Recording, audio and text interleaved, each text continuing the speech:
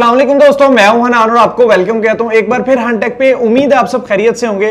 Sir हमारे पास ने कुछ अपकमिंग स्मार्टफ़ोन से रिलेटेड न्यूज़ थी। भाई फाइनली बहुत टाइम बाद हमें ये न्यूज़ मिली है कि अपकमिंग स्मार्टफ़ोन पाकिस्तानी मार्केट में आपको देखने को मिल सकते हैं आने वाले टाइम में। क्योंकि हमने जो अपकमिंग स्मार्टफ़ोन से रिलेटेड वीडियोस बनाई थी, चाहे वो रियलमी की तरफ़ से हो रेडमी की तरफ़ से हो ओप्पो की तरफ़ से हो या वीवो की तरफ़ से हो तो अपकमिंग स्मार्टफ़ोन जो थे ना, पाकिस्तानी मार्केट में वो काफ़ी ना मिले जुले से उसके रिव्यूज़ आए, क्योंकि उसमें कुछ आए भी तो बहुत महँगे हैं और कुछ नहीं आए। लेकिन इस टाइम के ऊपर जो अपकमिंग स्मार्टफ़ोन से रिलेटेड कुछ न्यूज़ मिली है, उसमें कुछ स्मार्टफ़ोन हमारे सामने हैं, जो कि अपकमिंग है, आने वाले वक्त में आपको मिल सकते हैं, साल के एंड तक। तो आपके साथ भी शेयर कर देता हूँ कौन कौन से स्मार्टफ़ोन आपको पाकिस्तानी मार्केट में देखने को मिल सकते हैं। उससे पहले अगर आप चैनल पे नए हैं तो यार पहले हमारे हंटे के चैनल को सब्सक्राइब कर लें फैमिली का हिस्सा बन जाए। और हम लोग ना डेली बेसिस पे इस तरह का कंटेंट लाते रहते हैं तो आप ना बेल आइकन को भी प्रेस कर लें ताकि इस तरह की वीडियोस आपको सबसे पहले मिलती रहें। तो अब आने वाले वक्त में आपको पाकिस्तानी मार्केट में जो डिवाइस मिल सकती है, वो वीवो की तरफ़ से मिल सकती है, जो कि वीवो की एक्स फोल्ड सीरीज़ की नेक्स्ट वर्जन होने वाला है, या नेक्स्ट उसका अपग्रेड वर्जन होने वाला है, जो कि वीवो का एक्स फोल्ड एस के नाम से हो सकता है। और अगर इस स्मार्टफ़ोन की बात करूँ तो भाई ये स्मार्टफ़ोन अब बहुत स्पेशल होने वाला है। और जो इसकी प्राइस है, वो भी काफ़ी स्पेशल हो सकती है। अब क्या स्पेसिफिकेशन इसमें आपको मिल सकती है तो वो डिस्कस कर लेते हैं। इसके अंदर आपको एट प्लस जेन वन का चिपसेट मिल सकता है, जो कि भाई बहुत ही तगड़ा प्रोसेसर है, और इस टाइम वर्ल्ड का फास्टेस्ट चिपसेट भी है। और अगर इसके अंदर आप डिस्प्ले की बात करें, इसके अंदर आपको एट इंचेस वाली टैप वाला जो स्क्रीन है, जो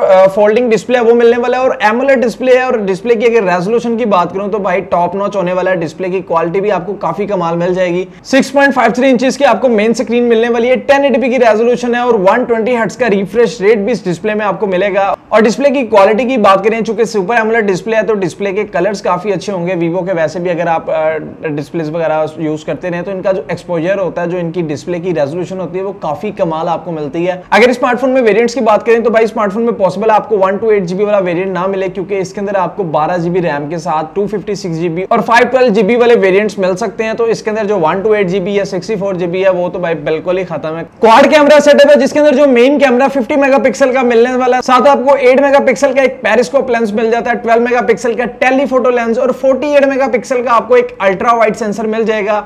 स्मार्टफ़ोन में आपको बैक कैमरा में optical image stabilisation 8K video recording 5x optical zoom और जो इस तरह के सारे फीचर्स हैं जो कि आपको एक फ्लैगशिप स्मार्टफ़ोन से एक्सपेक्टेड होते हैं, वो सारे फीचर स्मार्टफ़ोन में मिलने वाले हैं। फ्रंट साइड पे आपको 16 मेगापिक्सल का कैमरा मिल सकता है फोर्टी 4600 mAh की आपको बैटरी मिल सकती है स्मार्टफ़ोन में। साथ आपको 66 वॉट की फास्ट चार्जिंग मिल जाएगी 50 वॉट की वायरलेस चार्जिंग और 10 वॉट की इसके अंदर आपको रिवर्स चार्जिंग में मिलने वाली है। इन डिस्प्ले फिंगरप्रिंट स्कैनर और फ्रंट कैमरा की सपोर्ट भी अवेलेबल है। हेडफोन जैक स्मार्टफ़ोन में पॉसिबल है कि ना हो अगर आप भी स्मार्टफ़ोन को बाय करने का सोच रहे हैं तो ये भाई अपकमिंग टाइम में आपको देखने को मिल सकता है पाकिस्तानी मार्केट में आने वाले सिक्स मंथ तक क्योंकि अभी जो काफ़ी लोग मुझे मैसेज कर रहे होते हैं कि भाई आपने जो कहा था ये आपको पाकिस्तानी मार्केट में अब तक मिल सकती है डिवाइसेस तो वो अभी तक क्यों नहीं आई? तो, तो मैं आपको बताता चलूँ यार ये एक्सपेक्टेड डेट्स होती हैं और जो प्राइसेस हम बताते हैं एक्सपेक्टेड होती हैं जो कि पाकिस्तान के इस टाइम के डॉलर के रेट के हिसाब से बताई जा रही होती हैं।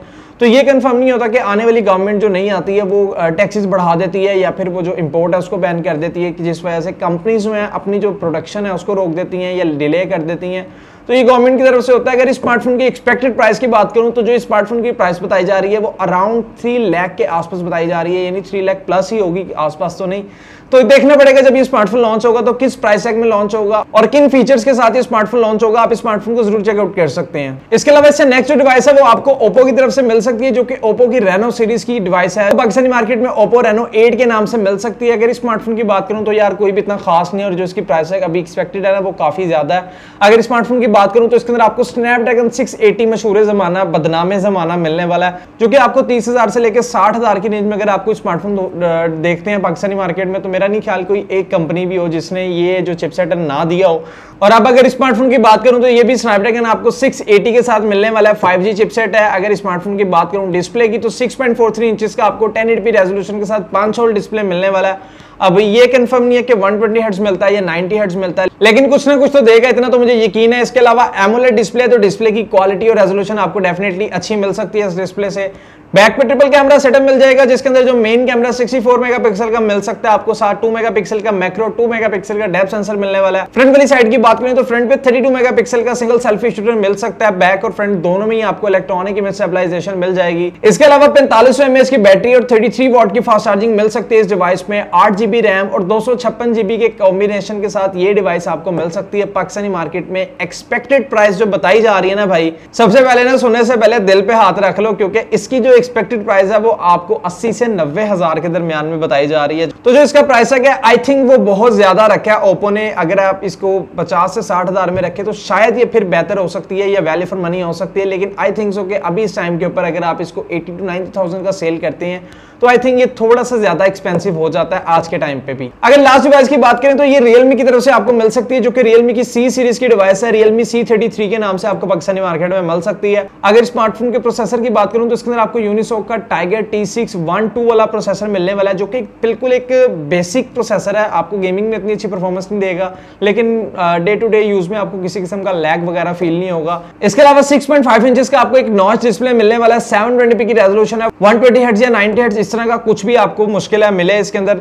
आपको इसके अंदर तीन वेरिएंट्स मिल सकते हैं, जिसके अंदर आपको बत्तीस जीबी चौसठ जीबी और एक सौ जीबी वाले वेरिएंट्स मिल सकते हैं। और अगर रैम कॉम्बिनेशन की बात करें तो इसके अंदर आपको तीन जीबी की रैम और चार जीबी रैम वाले वेरिएंट्स मिल सकते हैं। बैक पे आपको ट्रिपल कैमरा सेटअप मिल सकता है, जिसके अंदर जो मेन कैमरा थर्टीन मेगा के साथ आपको टू मेगा का मैक्रो टू मेगा का डेप्थ सेंसर मिलने वाला है। फ्रंट वाली साइड पे भी जाएँगे तो फाइव मेगा का एक सिंगल सेल्फी शूटर मिल जाता है। तो इसकी जो क्वालिटी है, बहुत ज़्यादा अच्छी नहीं होने वाली, एक बिल्कुल बेसिक लेवल की आपको इसमें क्वालिटी मिल जाएगी। इसके अलावा side mounted fingerprint scanner front camera में फेस आईडी की सपोर्ट मिल जाएगी। पाँच हज़ार एमएच की बैटरी है टेन वॉट की नॉर्मल चार्जिंग मिल जाएगी। कोई फास्ट चार्जिंग वगैरह इंक्लूड नहीं की गई। माइक्रो यूएसबी वाली चार्जिंग मिलने वाली है। हेडफोन जैक स्मार्टफ़ोन में अवेलेबल होगा। तो ये जो स्मार्टफ़ोन है ना, ये भी आपको अपकमिंग टाइम में पाकिस्तानी मार्केट में मिल सकता है। और इसकी एक्सपेक्टेड प्राइस ही थर्टी फाइव थाउज़ेंड बताई जा रही है, जो कि मेरा नहीं ख्याल के कौन बंदा पैंतीस हज़ार में ये डिवाइस अफोर्ड कर सकता है। इसके अलावा आप लोग भी मुझे कमेंट्स में बताएगा कि आपके स्मार्टफ़ोन से रिलेटेड क्या रहा है। अगर आपके पास इतने पैसे हैं, या आपको स्मार्टफ़ोन लेना चाह रहे हैं तो क्या आप इनमें से कौन से डिवाइस की तरफ़ जाना ज़्यादा प्रेफर करेंगे? कमेंट्स में राय ज़रूर दीजिएगा। वीडियो अच्छी लगे तो चैनल को सब्सक्राइब कर लें लाइक और शेयर कर दीजिएगा। आज की वीडियो में इतना ही था। दुआओं में याद रखें, अपना ख्याल रखें। अल्लाह हाफिज।